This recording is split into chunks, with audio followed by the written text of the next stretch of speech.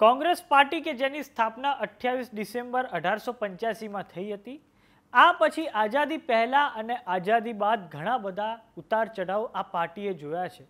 પણ આઝાદી બાદ જ્યારે કોંગ્રેસમાં અને દેશમાં ઇન્દિરા ગાંધીના યુગનો આરંભ થયો, ત્યારે અને તે પછી કોંગ્રેસ પાર્ટીના બહુ જ બધા ભાગલા પડ્યા છે. તો આવો જાણીએ આઝાદી બાદ વ્યક્તિ કેન્દ્રી રાજનીતિના લીધે કોંગ્રેસના કેટલા ભાગલા પડ્યા છે. નમસ્કાર, જમાટ સાથે હું છું પાર્થ.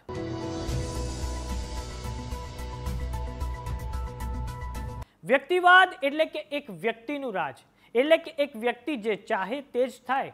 આ વ્યક્તિવાદ હંમેશાથી કોંગ્રેસ પાર્ટીમાં હાવી રહ્યો છે. આ એ જ વ્યક્તિવાદ છે જે આપખુદવાદને આમંત્રણ આપે છે.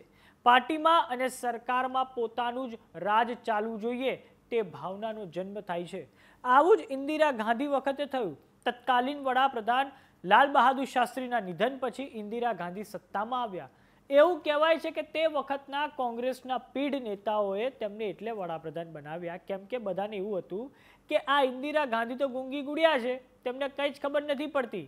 તે વખતે કોંગ્રેસના પીઢ નેતાઓ કે જે કોંગ્રેસ સિન્ડિકેટ તરીકે જાણીતા હતા, જેમ K K Kamaraj, Atulya Ghosh, Neelam Sanjiva Reddy, Morarjibhai Desai, S K Patil, S નિજલિંગપા પણ આ સમય જતાં ઓગણીસો ઓગણસિત્તેરમાં રાષ્ટ્રપતિના ઇલેક્શન્સ થયા.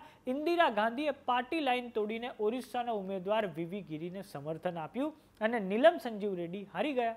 આ બાદ ઇન્દિરા ગાંધીને કોંગ્રેસ પાર્ટીમાંથી પાર્ટી વિરોધી ગતિવિધિઓ કરવા બદલ તગેડી મૂકવામાં આવ્યા. ઇન્દિરા ગાંધીની કોંગ્રેસ બની, કોંગ્રેસ આર અને સામે કોંગ્રેસ સિન્ડિકેટના નેતાઓ જે રહી ગયા તે કોંગ્રેસ ઓ એટલે કે કોંગ્રેસ ઓર્ગેનાઇઝેશન તરીકે ઓળખાયા. આ ભાગલા માત્ર અહીં જ નહોતા અટક્યા.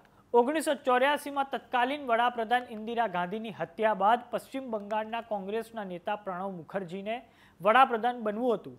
પણ તેઓ પીએમ ના બની શકતા રાષ્ટ્રીય સમાજવાદી કોંગ્રેસની નીવ પ્રણવ મુખર્જીએ રાખી જોકે આ પાર્ટીનું અસ્તિત્વ ઓગણીસો નેવ્યાસીમાં પૂરું થઈ ગયું. આગળ જતા સોનિયા ગાંધી કોંગ્રેસ પાર્ટીમાં સત્તાના સૂત્રો સંભાળતા કોંગ્રેસ પાર્ટીએ ભાગલાનો સામનો કરવો પડ્યો હતો. સોનિયા ગાંધીના મૂળ વિદેશી હોવાનો મુદ્દો ઉઠાવીને શરદ પવાર પીએ સંઘમાં તારીખ અનવરે કોંગ્રેસમાંથી અલગ થઈ પોતાની રાષ્ટ્રવાદી કોંગ્રેસ પાર્ટી બનાવી. આટલું જ નહીં.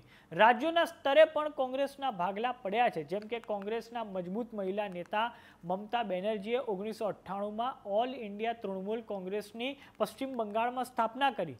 આંધ્રપ્રદેશમાં પણ જ્યારે ત્યાંના તત્કાલીન મુખ્યમંત્રી રાજશેખર રેડ્ડીનું બે હજાર નવમાં હેલિકોપ્ટર દુર્ઘટનામાં મૃત્યુ થયું, ત્યારે તેમના દીકરા જગનમોહન રેડ્ડીને મુખ્યમંત્રી બનાવવાના બદલે કોંગ્રેસ હાઈકમાન્ડે કે રોઝૈયાને સીએમ બનાવ્યા?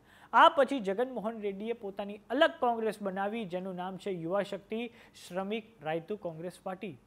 આમ જોવા જઈએ તો કોંગ્રેસના કેટલાય ભાગલા તમને રાજ્યવાર જોવા મળશે.